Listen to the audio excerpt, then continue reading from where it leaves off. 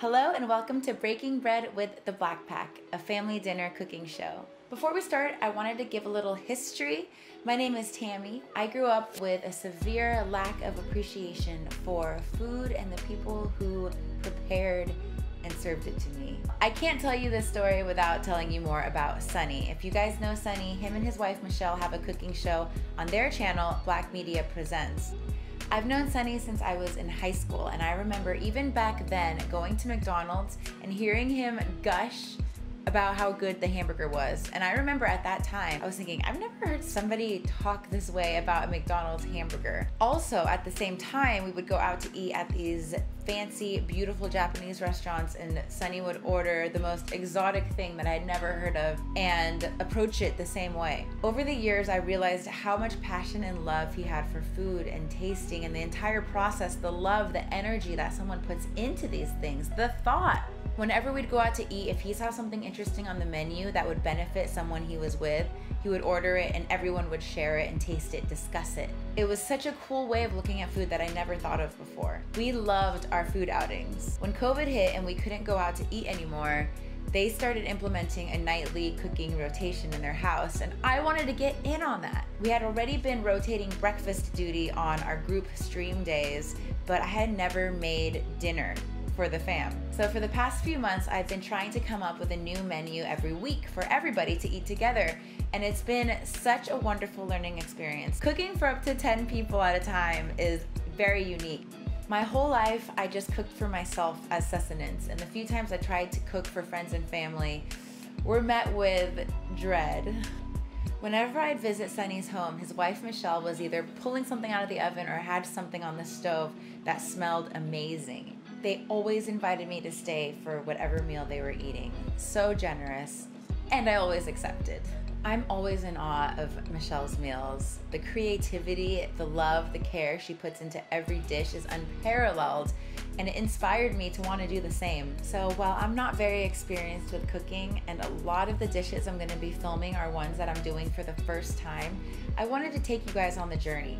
I've learned so many cooking techniques from Michelle and Sunny, from each individual dish to the entire menu planning. It's something that is a work in progress, and I would love to get your feedback on with all these meals in the comment section below. So let me know what you think. Let me know what you would have done differently and how you would have spiced things up in your own way. So because St. Patrick's Day is coming up this week, I wanted to do something in line with that. I'm making corned beef and cabbage. I'm also going to have a side of mashed cauliflower in place of potatoes just to try to go a little bit less carbs. I'm also going to have a smoked salmon spread for the appetizer. I'm also going to make an Irish soda bread on the side and some brownies for dessert. So I plan today to start with dessert because the brownies are going to be fine sitting for a while. The corned beef is going to take about three or four hours. So I'm going to start that right after I'm done with the dessert. Then while the meat is cooking, I'm going to work on the bread and the cheese spread. I'm saving the cauliflower for last because I've saved mashed cauliflower before and the liquid starts to separate from the solids. It's a bad look. So I'm going to try to prevent that by serving it the freshest.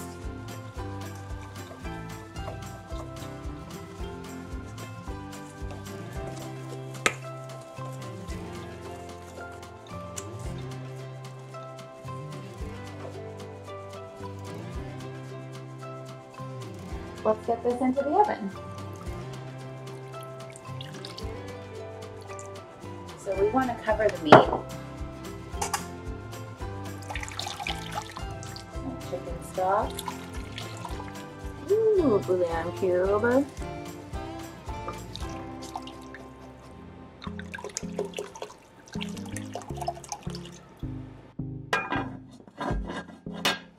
Four. That is a lot of flour teaspoon baking soda, baking powder. I rarely use this one. Tablespoon seems like a lot. I usually do like a half teaspoon or something of this.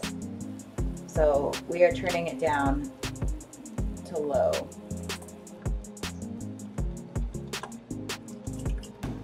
Looks so yummy.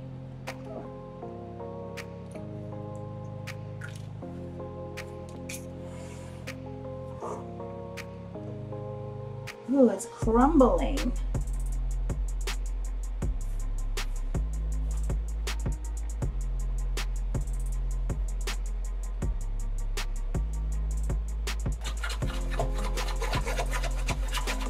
I hope it gets bigger than this. It's so tiny. So now we're gonna melt butter and mix it with buttermilk and we're gonna brush the top.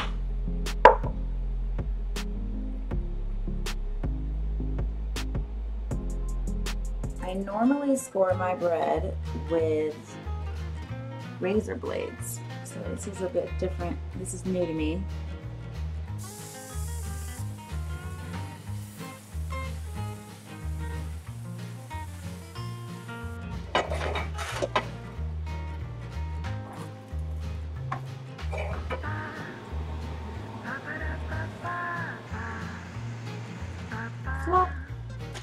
I just hope it all fits in here. So here's some horseradish.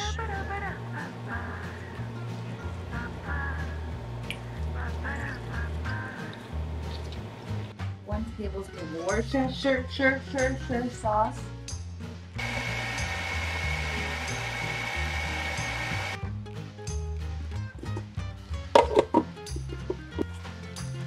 These are some walnuts that I toasted last week.